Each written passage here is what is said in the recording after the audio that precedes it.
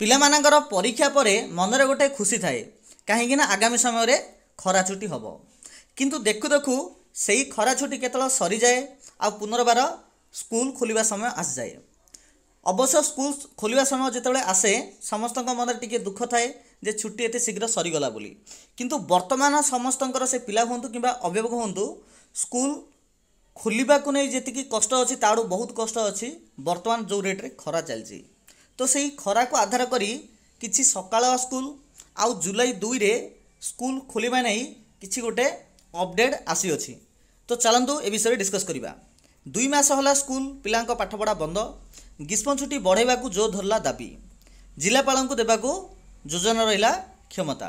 ତ ଚାଲନ୍ତୁ ଏ ନେଇ କ'ଣ ରହିଛି ଅପଡ଼େଟ୍ ତାକୁ ଆମେ ଟିକେ ଡିସ୍କସ୍ କରିବା। ରଜ ସରିଲା ମାତ୍ର ତାତି କମିଲାନି କି ସ୍କୁଲ ଖୋଲିପାରିଲା ନାହିଁ।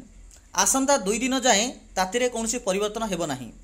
ଏକୋଇଶ ତାରିଖରେ ବି ପଶ୍ଚିମ ଓଡ଼ିଶାର ଅଧିକାଂଶ ଅଞ୍ଚଳରେ ତାପମାତ୍ରା ଚାଳିଶ ଡିଗ୍ରୀ ଉପରେ ରହିବ।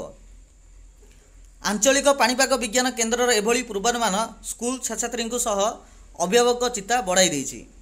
ଏକୋଇଶ ତାରିଖଠାରୁ ରାଜ୍ୟର ସମସ୍ତ ସରକାରୀ ଅନୁଦାନପ୍ରାପ୍ତ ଆଉ ଘରୋଇ ସ୍କୁଲ ଖୋଲିବାକୁ ରାଜ୍ୟ ସରକାର ନିଷ୍ପତ୍ତି ନେଇଛନ୍ତି।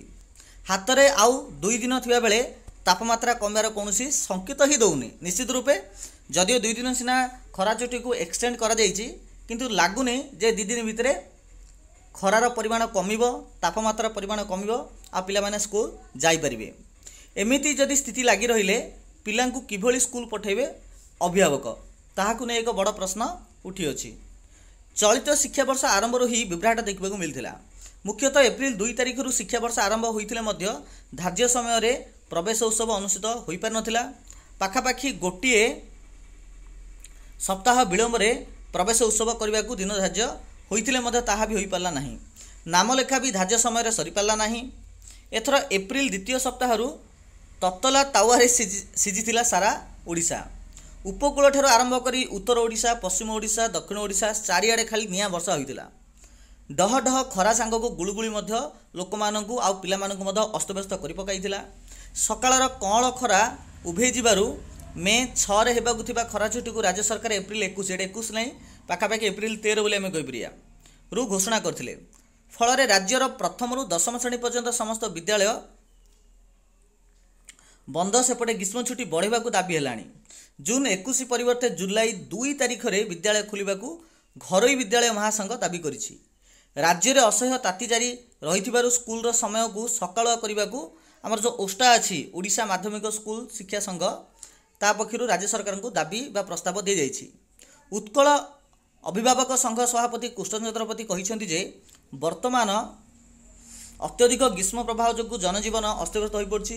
ସାରା ରାଜ୍ୟରେ ତାପମାତ୍ରା ଚଉରାଳିଶ ଡିଗ୍ରୀରୁ ଅତିକ୍ରମ କରିଛି। ଆଉ ଦୁଇ ଦିନ ପରେ ବିଦ୍ୟାଳୟ ଖୋଲିବାକୁ ଯାଉଛି। ବିଜୁଳି କାଟ ଏହି ସମୟରେ ଏକ ବଡ଼ ସମସ୍ୟା। ନିଶ୍ଚିତ ରୂପେ ପ୍ରାୟ ସମସ୍ତ ବିଦ୍ୟାଳୟରେ କରେଣ୍ଟ ଅଛି ବୋଲି ସେମିତି କିଛି ମାନ ନାହିଁ। ଯଦିଓ କରେଣ୍ଟ ଥିଲେ ମଧ୍ୟ ପ୍ରତ୍ୟେକ କ୍ଲାସ୍ ରୁମ୍ରେ ଫ୍ୟାନ୍ ମଧ୍ୟ ପ୍ରାୟ ନାହିଁ।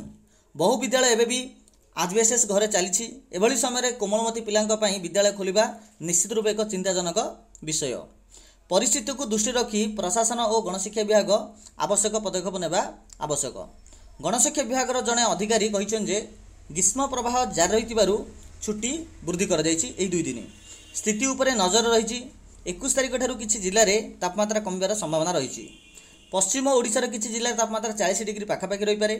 ଅଧିକାଂଶ ଜିଲ୍ଲାରେ ତାପମାତ୍ରା କମିବ। ତେଣୁ ସ୍କୁଲ ଛୁଟି ବଢ଼ାଇବା କ୍ଷମତା ଜିଲ୍ଲାପାଳଙ୍କୁ ଦେବାକୁ ଯୋଜନା କରାଯାଇଛି। ତ ନିଶ୍ଚିତ ରୂପେ ଏଥିରୁ ଆମେ ଆକଳନ କରିପାରିବା ଯେ ଯେତିକି ପଶ୍ଚିମ ଆଉ ମଧ୍ୟ ଓଡ଼ିଶାର ଯେଉଁ ଜିଲ୍ଲାଗୁଡ଼ିକ ଅଛି ସେଠାରେ ନିଶ୍ଚିତ ରୂପେ ଏକୋଇଶ ତାରିଖ ପରେ ହିଁ ଫିଟିବାର ଅଧିକ ସମ୍ଭାବନା ଅଛି।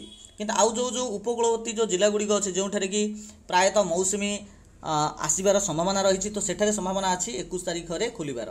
କିନ୍ତୁ ସବୁଯାକ ଜିଲ୍ଲାରେ ଖୋଲିବାର ସମ୍ଭାବନା ନାହିଁ। ଯେମିତି ଏଠାରେ ଥିଲା ଆମର ଗୋଟେ ଦାବି ରଖାଯାଇଛି ଜୁଲାଇ ଦୁଇରେ ବିଦ୍ୟାଳୟ ଖୋଲିବାକୁ ଯେଉଁ ସଂଘ ଯେଉଁ ଦାବି ରଖିଛି ତ ହୁଏତ ସେଇଟା ବି ମେ ବି ହେଇପାରେ। ଠିକ୍ ଅଛି ତ ଦେଖାଯାଉ ଏ ନେଇ କ'ଣ ଅପଡ଼େଟ୍ ଆସୁଛି ରାଜ୍ୟ ସରକାରଙ୍କ ତରଫରୁ। ତ ଯାହା ଅପଡ଼େଟ୍ ଆସିବ ନିଶ୍ଚିତ ରୂପେ ଆମ ଚ୍ୟାନେଲ୍ ମାଧ୍ୟମରେ ତୁମମାନଙ୍କୁ ମୁଁ ଅବଗତ କରାଇଦେବି। तो चलो वीडियो के टेन करके संतु thank you thank you so much